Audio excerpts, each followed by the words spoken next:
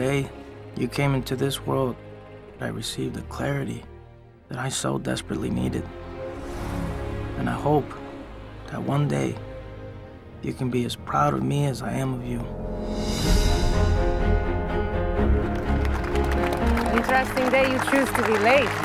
I come here out of respect for one of the heroic figures of our time, Cesar Chavez.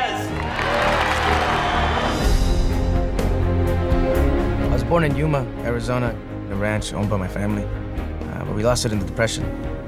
That's where I witnessed the injustice suffered by the people. To be successful, we have to have an army of boycotters willing to do the hard work. The bigger the army, the bigger the success. Farm workers in Delano, California have begun an unprecedented strike in the Central Valley. The citizens of Delano, they respect the law. So do we, especially the Bill of Rights. Have you seen the headlines they're getting? That's costing us real money, Mr. Bogdanovich. We don't have to negotiate. We have to dictate terms. Cesar, they will shoot. We're gonna break this damn strike. It's all lies. They're saying the strike is not legal. They're painting us to look like criminals.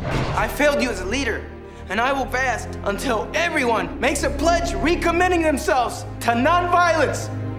Does he know what he's doing to you? No, he doesn't. They've been coming in bigger numbers ever since Chavez quit eating. How long can a man go without food?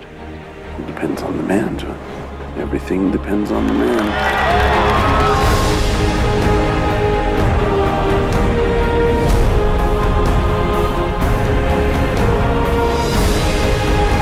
Once social change begins, it can't be reversed. You can't humiliate someone who has pride, and you can't oppress someone who's not afraid anymore.